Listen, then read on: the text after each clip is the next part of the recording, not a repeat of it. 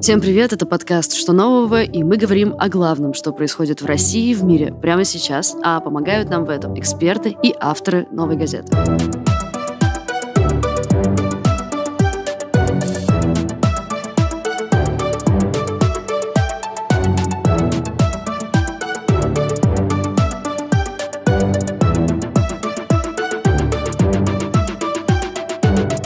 Сегодня у нас почти спецвыпуск. Э, тема, о которой мы будем говорить, не привязана к нынешней повестке, но от этого не менее важна.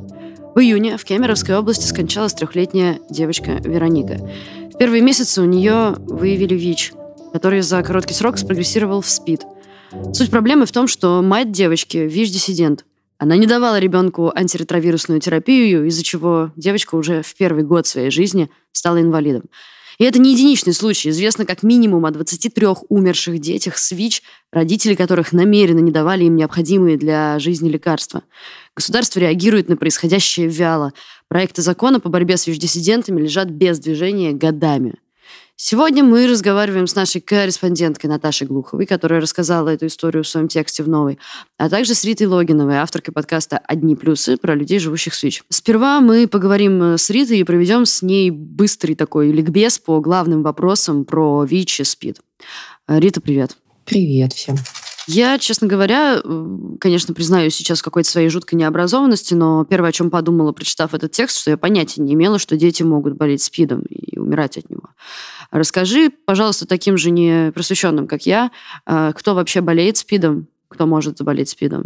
Э, ну, я тут в скобочках помечу, что, наверное, нужно пояснить, что это не только там условные наркоманы или гомосексуалы. И, собственно, от чего люди умирают. Да, давайте начнем сначала. Болеть СПИДом – это ну, такое себе. То есть э, мы говорим о людях, которые живут с ВИЧ-инфекцией. ВИЧ-инфекция совершенно не обязательно приводит к смерти, как в случае с этими двумя детьми потому что это контролируемое заболевание, которое сегодня перешло из разряда смертельных угроз э, в просто разряд хронических инфекций, с которыми можно жить долго и счастливо. А ВИЧ-инфекция, к сожалению, не выбирает, кто заболеет, потому что, да, в самом начале эпидемии были четкие группы людей, наиболее уязвимые к ВИЧ-инфекции, и они и сейчас наиболее уязвимы, но если бы тогда, допустим, в России в конце 80-х, в начале 90-х э, больше внимания уделялось бы профилактике ВИЧ-инфекции среди людей, употребляющих инъекционные наркотики, среди мужчин, которые практикуют секс с мужчинами, тогда, возможно, масштабы эпидемии сейчас были бы совсем другие. Но мы имеем то, что имеем. В России живет больше миллиона людей с ВИЧ-инфекцией, только там, официально выявленных, а те, которые вообще еще никогда не попадали со своим положительным тестом в поле зрения врачей, может быть, в два раза больше, может быть, больше. И это, конечно, грустно. Как можно инфицироваться, ну, в первую очередь, незащищенный секс, любой, пенис вагинальный, анальный, между любимыми людьми. Второй – это инъекционный путь, когда мы напрямую в кровоток вливаем кровь с большим количеством вируса. Это либо если мы употребляем совместно наркотики, либо ну, сейчас эти случаи уже сильно отходят в прошлое, потому что санитарные правила очень жесткие. Ну, в общем, раньше, наверное, было больше шансов инфицироваться ВИЧ там, при приливании, как-то еще.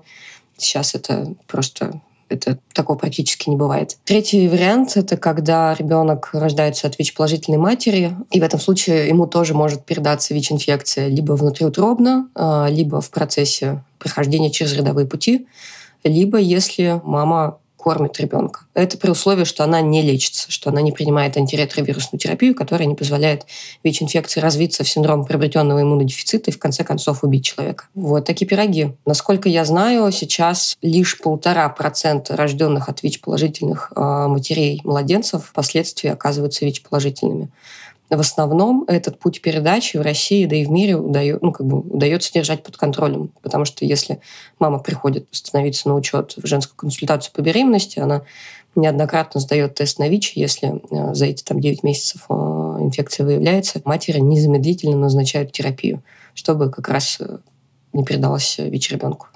Э, давай поясним, все-таки ВИЧ, СПИД, каков путь от одного к другому, как это работает? ВИЧ-инфекция – это, соответственно, заболевание, э, вызываемое вирусом иммунодефицита человека. Я, конечно, не медик и не ученый, но, соответственно, человек э, ВИЧ-положительный, то есть инфицированный ВИЧ, страдает от того, что его иммунитет потихоньку разрушается и не способен противостоять всяким внешним инфекциям, с которыми здоровый организм, в общем, справляется более-менее. И в конце пути человека, который живет с ВИЧ-инфекцией и не принимает антиретровирусную терапию, э, неизменно стоит синдром приобретенного иммунодефицита. Это как бы не болезнь, это совокупность разнообразных состояний человека, там, приобретенных вторичных заболеваний, типа туберкулеза, менингита. И это может поражать очень разные внутренние органы, и, и позвоночник, и кости, и мозг. В общем, от СПИДа умирают в очень плачевном состоянии. Это очень некрасиво, это очень мучительная смерть обычно но ее можно предотвратить. Это, конечно, хорошая новость. А если ты уже дошел до этапа, когда у тебя спит, есть ли вероятность выжить? Какой процент выживает? Я, тут мне сложно там, опираться на цифры, потому что я их не поднимала, готовясь к нашему разговору. Но, в принципе, какая-то часть этих состояний обратима. Ну, то есть бывает, что люди начинают слепнуть, потому что не лечились, а на терапии а, к ним возвращается в каком-то э, объеме зрения. Ну, то есть случаются чудеса на терапии. А бывает, что и нет. Бывает, что... Ну, поскольку я там, кроме того, что я веду подкаст и там пишу много как журналист о ВИЧ-инфекции, я еще и работаю в ВИЧ-сервисной организации в Новосибирске, да, у меня очень там, руку протяни, вот они все наши клиенты. И среди них много тех, кто не лечились по разным причинам, да, и мы, мы же сейчас говорим о ВИЧ-отрицателях и о том, как э, их ну, поведение и как их выбор сказывается на их детях. Он начинается вот у взрослых еще. Кто-то очень давно инфицировался, тогда, когда не было такого доступа к терапии. И они, как вот в первый раз попали спеццентром сказали, ну иди погуляй там, когда будет похуже у тебя состояние, тогда мы тебе что-нибудь назначим. И они пропадают на долгие годы и, может быть, даже не доживают до следующего визита в центр СПИДа, чтобы им назначили таблетки. Кто-то просто так живет, что им не до лечения, не до своего здоровья. Да? Если мы говорим о людях, которые употребляют наркотики много лет, то там в какой-то момент жизни все существование завязано на то, чтобы э, где-то раздобыть вещества, и в этом круговороте не остается времени на заботу о себе. Это не значит, что человек э, совершенно социален, что как бы его никто не любит, он никого не любит. Но просто зависимость такая штука, она очень много сил высасывает. И чтобы ее обеспечить, нужно много денег, ресурсов, э, времени которых может не хватить на лечение. И многие спохватываются, но довольно поздно, да, когда уже серьезный туберкулез, который нужно лечить много месяцев а не менее серьезными препаратами. Правильно ли я понимаю, что условная роль вот этой ВИЧ-диссидентской пропаганды, которая происходит, ну, в каком-нибудь интернете, да, там, или, в общем, ну, наверное, скорее в интернете, э, ее роль не так велика, как те факторы, что ты перечислила сейчас? Наверное, чтобы вы понять, какова в объеме доля там, ВИЧ-отрицательской пропаганды, нужно проводить специальные исследования. Я могу опираться на свои ощущения. Реальных фриков, которые э, каждый день там постят э, в группы, о которых упоминается в тексте, который мы сейчас обсуждаем, их может быть не так много. Ну, реально. Гораздо больше людей, которые недоинформированы, сильно недоинформированы о ВИЧ-инфекции, которые выросли на стереотипах и мифах о том, что это там гроб-гроб кладбище, и, наверное, когда ты впервые соприкасаешься с э, какой-то информацией о ВИЧ-инфекции, и она сразу вот такого коленкора, то ну, велика вероятность, что ты просто застрянешь да, в стадии отрицания, в стадии страха и больше никогда ничего не предпримешь. И в этом смысле я, конечно, далека от того, чтобы складывать вину за смерть детей исключительно на их родителей, на их матерей, которые их не лечили. Наверное, что-то с ними тоже такое произошло в жизни, что они приняли такое роковое неверное решение не знаю, как сейчас жить им с этим. Поскольку ВИЧ можно много лет э, переносить без всяких симптомов и ничего о нем не знать, или многие люди так и делают, как мы уже упоминали, сколько раз э, там обычному человеку, там условно даже здоровому, когда ему имеет смысл проверяться? Ну, такое общее место насчет э, количества там анализов или тестирования на ВИЧ для условно обычных людей раз в год желательно, да, если есть какая-то сексуальная жизнь, потому что мы в этом смысле можем нести ответственность только за себя, да, но не за партнера. С другой стороны, если рисков как бы нет, то ну, частота может быть ниже. А если рисков больше, то частота, соответственно, выше. И если в жизни у человека случается незащищенный сексуальный контакт, если случается совместное использование э, инструментов для инъекций, то следующий после этого момента тест на ВИЧ нужно делать через месяц. Еще один там через три, чтобы исключить период окна. То есть нужно отталкиваться от собственных рисков. А что еще может быть рискованной ситуации? Там, не знаю, какой-нибудь маникюр нас пугали, вот что-то тут это может быть так, там какие-то грязные инструменты, кровь, там, вот это все. Да, да, да, вот в этом в этом, понимаешь, самая большая, кажется, проблема ВИЧ. Нас очень много пугают, а каких-то спокойных голосов, которые ну, достоверную информацию доносят не очень много. А тут ну, реально важно знать не так много вещей. И они не страшные. А, давайте мы не будем заниматься сексом без презерватива с человеком, чей ВИЧ-статус нам не совсем понятен. А если мы хотим избавиться от презерватива и там снять его, не знаю, заводить детей начать, то нужно сначала пойти и там, соответственно, за месяц до этого чудесного мгновения сдать тест на ВИЧ. Да, потому что все остальное излечимо. А ВИЧ ну, будет с вами навсегда. Ну, на том этапе развития фармакологической промышленности, на котором мы есть, и науки. И главное, что нужно знать, и это прям это в тему сегодняшнего обсуждения, это что терапия сейчас это единственный способ не умереть, не передать ВИЧ больше никому, потому что человек, который принимает терапию, он достигает неопределяемой вирусной нагрузки, скорее рано, чем поздно. На это нужно не так много времени, меньше года, как правило. И потом он не может передать ВИЧ никому, даже если он занимается сексом без презерватива. А тем более ребенку, если мы говорим о женщине. Таким образом работает профилактика. У меня куча знакомых сейчас из э, среды ВИЧ-положительных людей, которые эти ситуации проходили. И очень много людей с опытом отрицания, которые жили и были уверены, что ВИЧ нету, что это... Я с этими людьми разговаривала, я смотрела им в глаза, как тебе, как бы, и не понимала, как такое возможно. Они не лечились, потому что это заговор, не знаю, Путина, Трампа, кого угодно, фармкомпании, что на них хотят делать деньги, что их хотят отравить, что это то, что это все. В ряде случаев поворотным моментом становилась именно беременность и рождение ребенка. Одна моя знакомая, равная консультантка Света Сумина, с ней был тоже подкаст, она начала пить терапию только когда забеременела второй раз, потому что у нее промелькнула мысль, а вдруг есть все-таки ВИЧ? А ребеночка-то я хочу здорового. Вот. И как-то, в общем, нередко бывает, после того, как она родила, она бросила пить терапию. Ну, потому что все, она же свою как бы миссию выполнила, ребеночек здоровый родился. И еще через несколько месяцев она поняла, что она начинает умирать потихоньку, что у нее туберкулез, у нее там еще умер муж от, от того же самого. Вот тогда она схватилась за голову и побежала в центр СПИДа и крича «дайте мне таблетки». Сейчас у нее все хорошо, здоровая девочка, она сама молодец. Вот. Но это не какие-то другие люди, знаешь, с песями головами, с рогами, инопланетяне. Это люди просто, как мы с тобой, которые чего-то недопоняли. А подробности текста про ВИЧ-диссидентов и последствия их действий, или точнее бездействия, обсудим с Наташей Глуховой. Наташа, привет. Всем привет. Расскажи, пожалуйста, историю Вероники. Тут важно заметить, что имена всех героев в тексте изменены, да, но в целом историю этой девочки. Когда стало известно про ВИЧ, Положительно ли ее мама? Угу. Как это все развивалось? А, Вероника родилась а, летом 2018 года, и ВИЧ у нее выявили практически в первые месяцы жизни. Ну, лекарства, которые помогают людям с ВИЧ, ей уже начали давать прямо после рождения, потому что у нее мать, ее мать была ВИЧ-инфицированной уже несколько лет. А, как нам рассказали активисты, с которыми мы общались, когда готовили этот материал, мать Вероники сама не принимала терапию, несмотря на то, что она знала про свой диагноз. Ну, то есть, если бы она принимала терапию, то была вероятность бы того, что ребенок родился бы абсолютно здоровым. Но, к сожалению, сама мать тоже не принимала терапию, из-за этого ребенку сразу же в первые дни жизни начали давать лекарства, и уже через несколько месяцев у нее официально подтвердился ВИЧ. А в год Вероника уже стала инвалидом.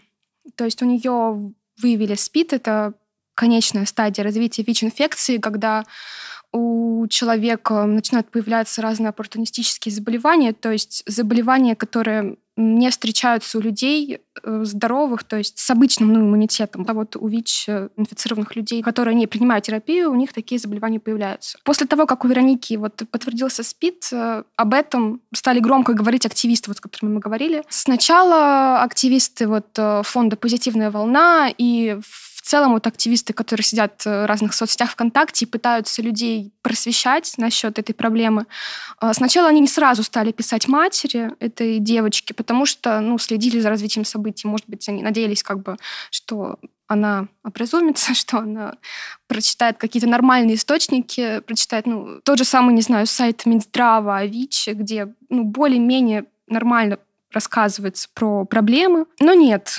И вот После того, как уже Вероника стала инвалидом, эти активисты уже начали писать напрямую матери, пытались с ней связаться, пытались как-то воздействовать на нее, но она не отвечала, на эти сообщения, а потом просто сказала, ну, не пишите мне больше, грубо говоря. Откуда узнали вообще активисты про Веронику? Это мама в открытую размещала все медицинские данные дочери, вплоть до медицинских документов, которые ей давали в э, больницах. В открытую размещала в так называемых ВИЧ-диссидентских группах, а, где разные люди что-то этой матери советовали что-то не очень хорошее. Например, не принимать терапию, не следовать советам врачам. А у них вообще есть какой-то альтернативный вариант? Условно, если не терапия, то там, не знаю, иглоукалывание. А, вообще ВИЧ-диссиденты, они бывают разные. Бывают э, те, кто в целом вообще отрицает э, существование ВИЧ, то есть говорит, что такого вируса не существует, что это все миф, что вот э, все эти анализы, которые я которые показывают э, положительные результаты на ВИЧ, они их подделывают. Бывают такие люди. Бывают люди попроще, которые просто говорят, что ВИЧ не связан со СПИДом, что, допустим, вот к СПИДу приводит наркотики, вот это все. А ВИЧ это просто обычный вирус, и если его там не лечить, ничего, ничего страшного не будет. Бывают те, кто верит э, в теории заговора и говорит, что вот медицинские корпорации, фармкомпании э, зарабатывают на этой терапии, и государство как бы закупает у этих э, фармкомпаний лекарства, они либо пустышки, либо наоборот вредят человеку. Там тоже разные такие разветвления. Из-за этого как бы государство платит деньги этим фармкомпаниям, они обогащаются, а мы вот должны страдать. То есть, по их мнению, условно, даже число погибших, о которых сообщают какие-то официальные источники регулярно, там, не знаю, тот факт, что у нас вообще-то эпидемия, э, это до них не доходит вообще никак? Или они тоже считают, что это все подделка? Они, да, считают, что там могут считать, что статистику рисуют, могут считать, что э, на самом деле вот эти люди умерли не из-за того, что ВИЧ спрогрессировал в СПИД, и, и не из-за того, что люди не принимали терапию, а просто из-за того, что, допустим, ну, там, грубо говоря, наркоман, вот из-за этого. Люди, вот, которые ВИЧ-диссиденты, они не верят, что ВИЧ-инфицированные люди могут быть э, совершенно, могут быть каждый из нас вообще. То есть любой человек э, с высшим образованием, который все, все ну просто так вот не повезло, допустим, встретил человека, который не просвещенный там в половых там вопросах, да, вот, э, и этот человек там грубо говоря, пошел куда-то. Лучше это не надо вставлять, наверное. Ну, в общем, да.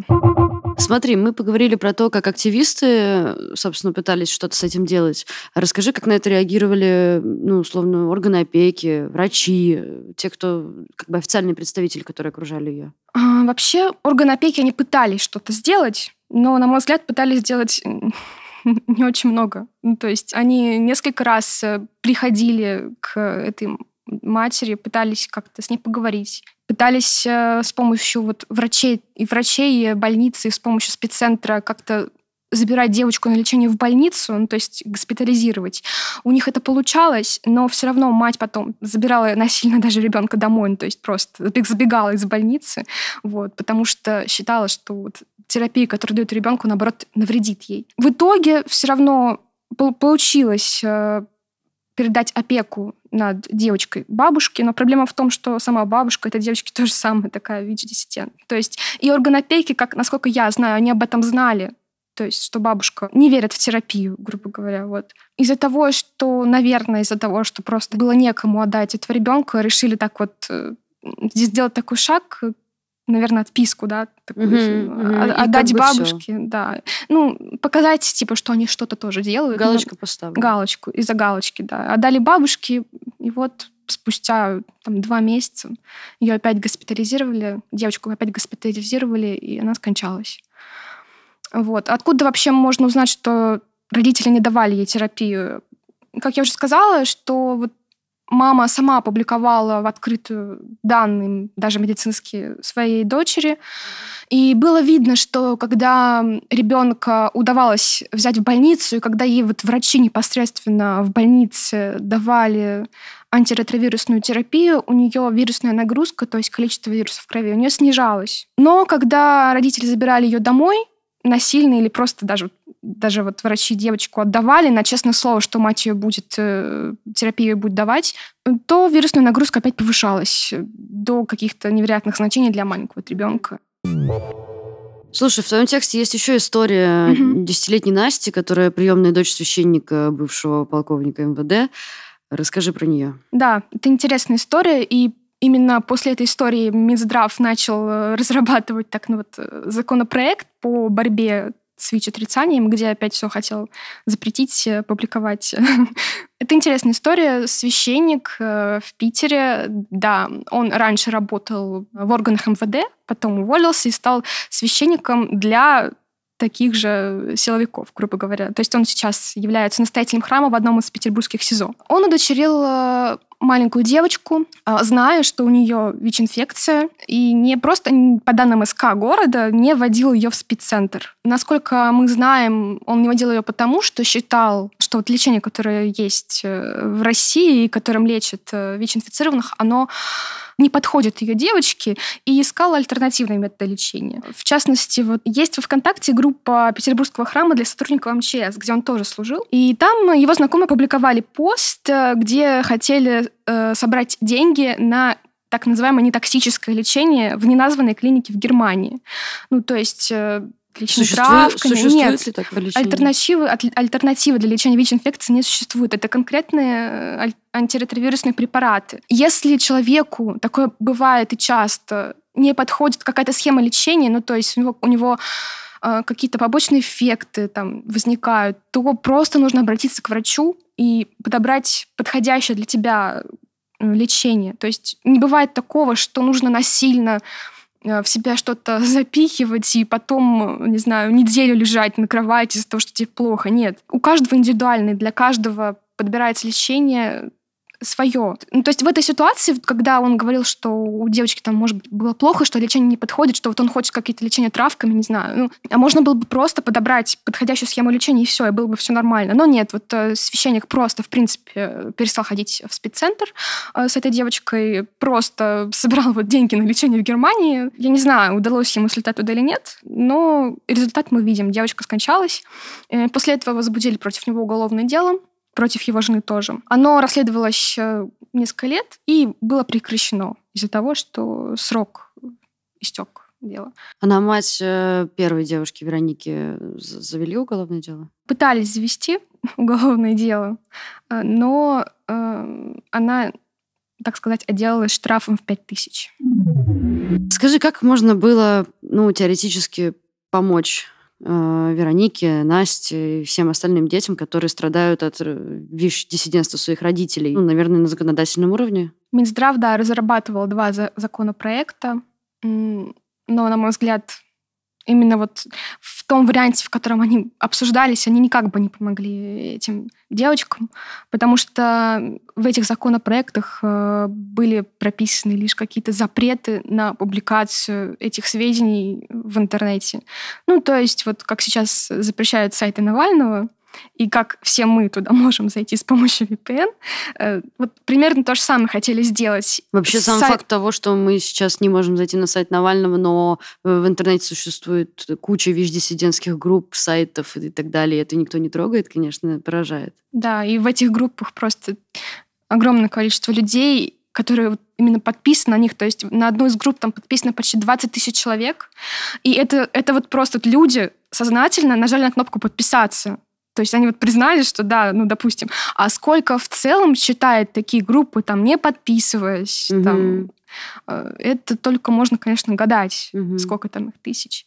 А вот. что реально нужно сделать, чтобы это прекратить или хотя бы сократить? Ну, на мой взгляд, э, вот запретом э, запрещать такие сайты в интернете это просто неэффективно. То есть человек, который хочет, который привык к такой информации, который привык к этому кругу общения, он обязательно найдет способ обхода запрета с помощью того же самого VPN. Запрещать такие сайты неэффективно, и как мне сказал академик Ран Покровский, с которым я тоже говорила, говорила, который активно тоже освещал эту тему, это создаст ореол героизма для людей ВИЧ-диссидентов, потому что у них сразу появится такой образ борца с государством. Ну, то есть вот смотрите, мои сайты запрещают в интернете, мои группы запрещают в интернете. Но я буду продолжать бороться. Я, да, вот смотрите, государство против нас. Ну да. Но вот есть такие обходы, э, все равно заходите. Логика или... понятна. Вот.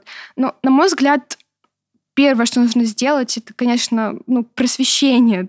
То есть нужно больше рассказывать людям о том, что такое ВИЧ, о том, что такое СПИД. Как можно в целом это этого не допустить. Ну, то есть как можно, да, вот, потому что вот на профилактику ВИЧ-инфекции тратится в разы меньше денег, чем на те же самые лекарства. Ну, понятно почему, потому что лекарства и стоят дороже, но все равно фактически никакой работы по просвещению не ведется. И... Ты имеешь в виду там, условно, в школе? В да? школе, ну не, не только в школе, на самом деле. В школе, да, Минпросвещение как бы выступает мягко говоря, против того, чтобы в школах э, ввели Потому что половое это... воспитание. А, половое. Да, это связано с половым воспитанием, конечно, и поэтому с просвещением тут придется побороться, если чтобы как-то вести эти ну, не то что уроки, там, называйте как хотите эти уроки. Не хотите называть это половым воспитанием или сексуальным просвещением, назовите, назовите по-другому, но рассказывайте про ВИЧ, то же самое, про СПИД, про, в целом про вирусы. Потому что многие, правда, не знают, что, как они передаются. Зачем нужно прививаться?